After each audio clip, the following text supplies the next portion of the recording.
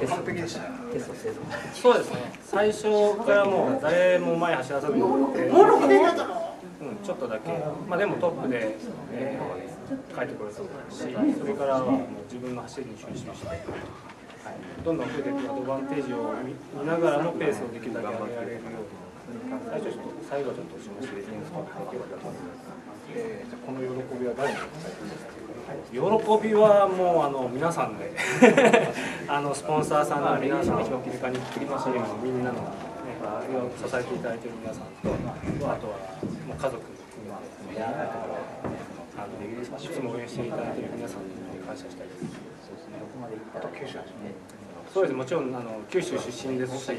まあ、ライダーとしてできることって言ったらねあのやっぱりいいレースをしてあの、まあ、九州出身っていうわけではないですけどやっぱり皆さんに元気を届けられるようなあの気迫で、まあ、年は年ですけれどもあの全然いけると思ってますので皆さんに元気出してもらいたいです。